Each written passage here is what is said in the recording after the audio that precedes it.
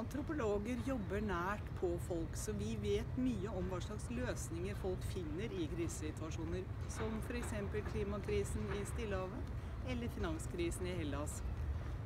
Det vi kan bidra med, er å fortelle hvordan folk finner løsninger, og hva de står overfor.